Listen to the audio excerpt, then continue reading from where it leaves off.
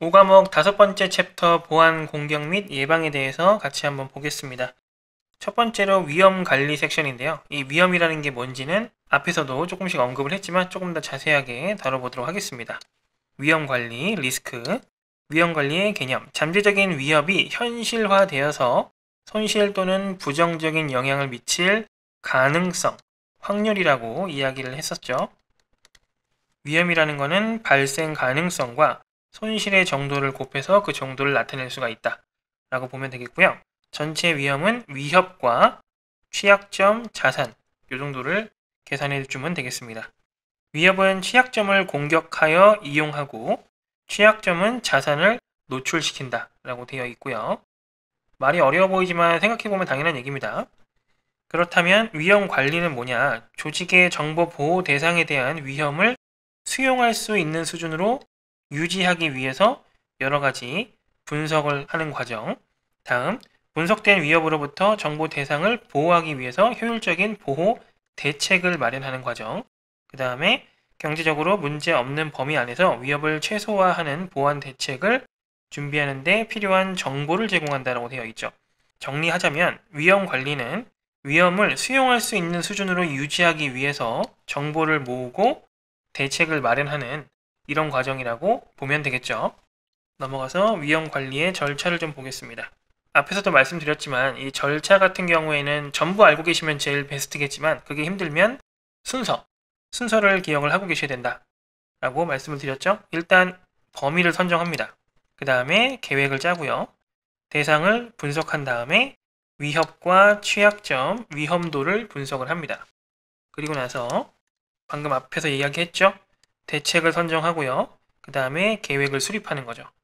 이 단계로 진행이 된다. 이러한 절차로 진행이 된다. 이렇게 알고 있으면 되겠습니다. 위쪽에서는 분석 계획 수립이고요. 아래에서는 정보 보호 계획 수립이에요. 다음은 잔여 위협에 대해서 나와 있는데요. 뭐 잔여라는 게 남아있다는 뜻이니까요. 위험 관리 대책을 통해서 위협이나 취약점, 위험을 제거하고 남은 위험이라고 되어 있습니다. 전부 제거하는 건 불가능하기 때문에 이 부분까지 이제 체크를 해줄 필요가 있고요. 자녀 위험이 너무 적다는 것은 보호할 필요가 없는 낮은 가치의 자산일 수도 있다. 보호 수준이 너무 높을 수도 있다. 뭐 그런 얘기를 하고 있는 겁니다. 넘어갈게요. 위험 분석을 하는 방법에 대해서 나와 있습니다. 일단 계량화 여부에 따른 방법이라고 되어 있죠. 정량, 이게 계량이 된 거예요. 양을 수치로 정한 거고요. 그 다음에 정성, 이거는 계량화가 되지 않은 거라고 보시면 됩니다. 모든 개념을 양이나 수치를 기반으로 측정을 하는 걸 정량이라고 하고요. 정성은 성질이나 질적인 특성을 기반으로 측정을 하는 겁니다. 정량은 위험 크기를 비용 단위로 측정이 가능할 때 사용을 하고요. 다음에 정성은 분석자의 경험이 우선이 됩니다. 장점, 단점 나와 있죠? 서로 반대겠죠?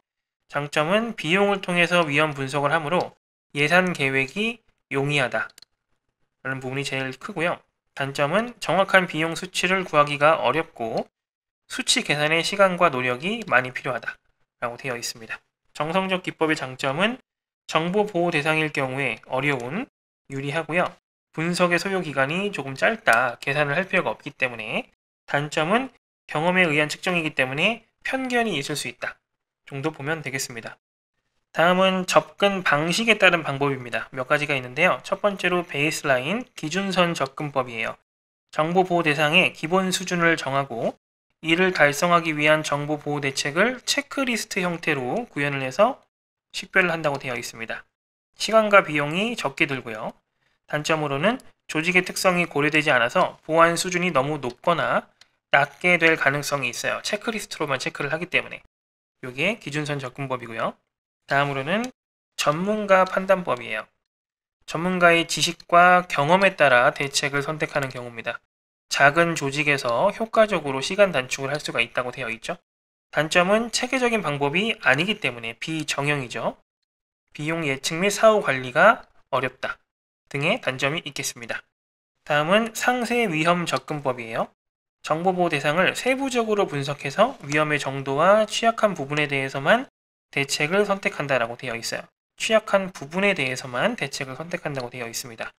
조직 내에 알맞은 정보 보안 대책 마련이 가능합니다. 하지만 상세로 세부적으로 자세하게 분석을 한다는 얘기는 그만큼 시간이 많이 들겠죠?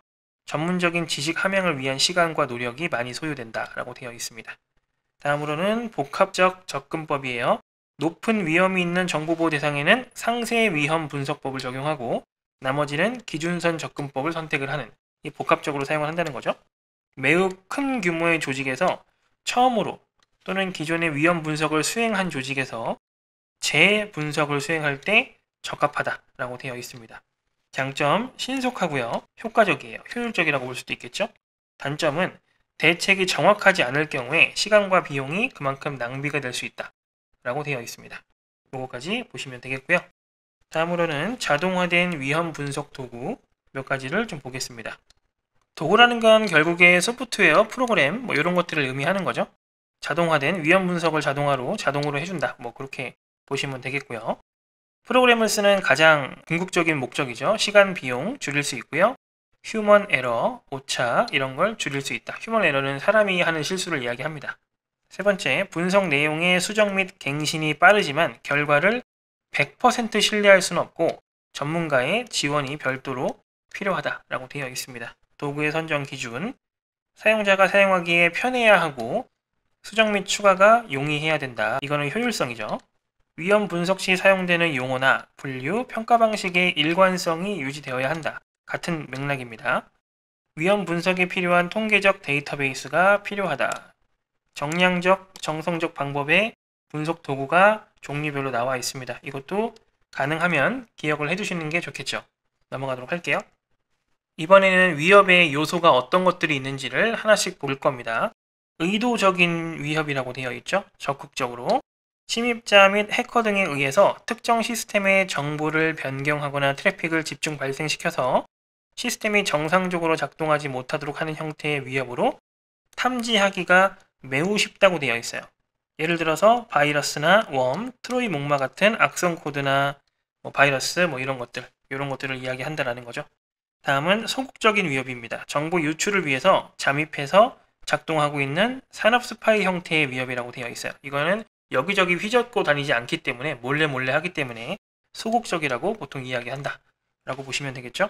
다음은 비의도적인 위협이라고 되어 있어요. 특정 시스템의 하드웨어나 소프트웨어의 고장으로 고장은 직접 자기가 나고 싶어서 나는 게 아니기 때문에 비의도적이라고 이야기를 하는 거죠. 고장으로 인한 무결성과 가용성의 훼손으로 발생하는 위협이다 라고 되어 있죠. 넘어갈게요. 자연적인 위협은 읽어보면 당연한 이야기고요. 어려운 내용이 아니죠. 넘어가서 위협의 종류에 대해서 좀 보겠습니다. 비인가 외부자, 내부자, 내부자라는 거는 내부적으로 그냥 프로그래머라든지 직원 뭐 이런 것들 이야기하는 거죠. 그 다음에 인가 내부자, 인가 내부자의 의도적 비의도적인 위협이라고 되어 있어요. 생각을 잘 해주셔야 돼요. 일단은 인가인지 비인가인지를 구분할 수가 있고요. 비인가일 경우에는 내부자도 있을 수 있고 외부자도 있을 수 있고요.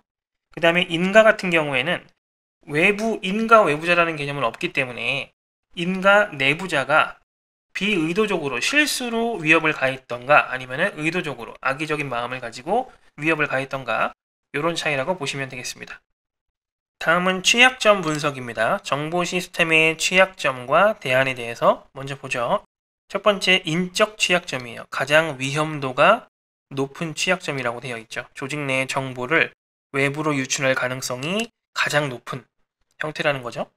대안은 철저한 교육과 인적 관리를 해줘야 된다. 라고 되어 있는 거고 다음은 물리적 취약점입니다. 시스템의 하드웨어가 파괴되거나 가능한 환경에 노출되어 있는 경우 정기적인 점검, 출입 통제, 보안 시스템을 강화하는 방법으로 이 취약점을 완화시킬 수가 있다. 라고 보면 되겠고요. 다음은 하드웨어 취약점입니다. 정보 시스템의 고장으로 인해 정보가 변조되는 경우 점검이 필요하다, 예방 조치가 필요하다고 되어 있고요. 소프트웨어 취약점은 정보 시스템에서 운영되는 프로그램, 데이터베이스 등의 접근 제어, 권한 제어 이런 게 잘 되지 않아서 유출이 될 수 있는 경우에요. 접근 권한, 패스워드를 정기적으로 변경해주고 점검을 해줘야 된다라고 되어 있습니다.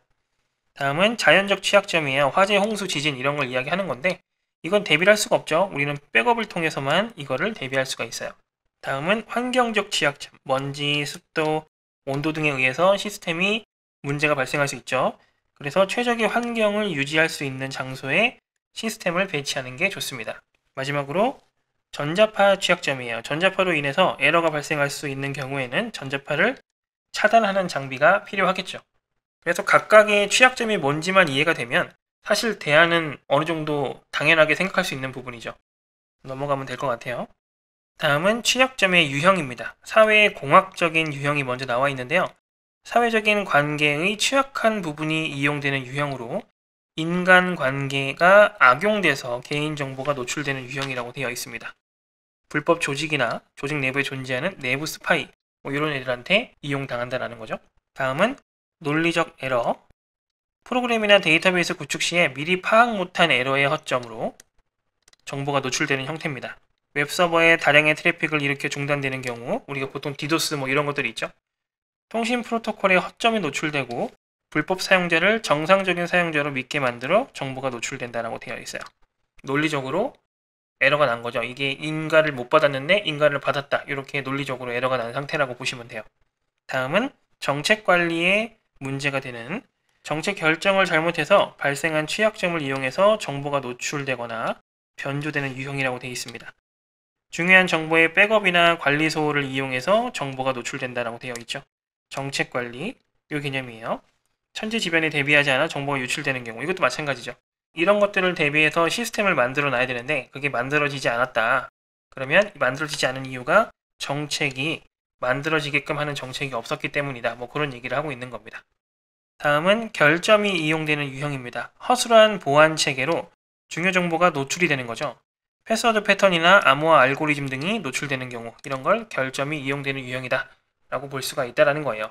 어떻게 보면 다 비슷비슷한 내용들이죠. 넘어가 볼게요. 다음은 인터넷 서비스의 취약점입니다. 이메일이 가장 대표적으로 나와 있죠. 불특정 다수의 메일을 수신할 수 있기 때문에 보안에 취약하다. 첨부된 파일 내부에 악성 프로그램을 포함시킬 수 있다. 이메일의 패스워드가 노출되면 스팸 메일 릴레이로 활용될 수 있다. 릴레이가 뭔지는 오른쪽에 살짝 나와 있습니다. 다음은 프록시 서버의 취약점이에요. 프록시 서버가 뭔지는 오른쪽에 나와 있습니다. 대리인이라고 되어 있죠. 설정이 잘못된 경우 침입자에게 악용이 될 수가 있다. 악용될 경우에 인터넷 IP 주소를 세탁하거나 숨길 수가 있기 때문에 중요 전산망을 해킹하거나 경유지로 사용될 수가 있다. 라고 되어 있습니다. 마지막으로 운영체제의 취약점까지 보도록 할게요. 설치 취약점, 기본 설치 과정에서 가장 기초적인 보안 기능, 기본 계정만을 제공하므로 보안 취약점이 발생한다. 그래서 별도로 우리가 백신을 설치하고 그렇게 하는 거죠. 두 번째 업그레이드 취약점, 보안 강화를 위해 추가되는 업그레이드 적용 및 설치 여부를 사용자가 무시하면서 발생하는 취약점. 보통 우리가 설치 안 하잖아요. 세 번째 포트 취약점, 초보자가 잘못된 설정을 하거나 불필요한 프로그램을 설치하게 되면서 자신도 모르게 포트가 개방되어서 취약점이 발생한다. 기본적으로 포트는 다 닫혀 있어요. 그런데 어, 떤 포트는 어떤 포트는 열어둔다. 뭐 이렇게 설정을 할 수가 있는데 나도 모르게 그 설정이 된다는 거죠. 다음은 P2P. 사용자들 간의 컴퓨터 시스템을 상호 공유하면서 각자의 컴퓨터 시스템이나 정보가 노출된다. 라고 써 있습니다. 결국엔 사람이 문제인데 어쨌든 간에 서로 공유를 하면서 시스템 정보가 노출이 될 수가 있다. 라는 이야기예요. 이 취약점은 고의, 실수 이런 것들을 떠나서 어쨌건 침해를 받을 수 있는 환경이 되어 있다. 라는 개념이에요. 그렇기 때문에 이런 상황에서는 이러한 취약점이 발생할 수 있고 이거를 이용해서 누군가 위협을 가할 수가 있다. 라는 개념으로 이해를 하셔야 됩니다. 상황을 보시면 돼요.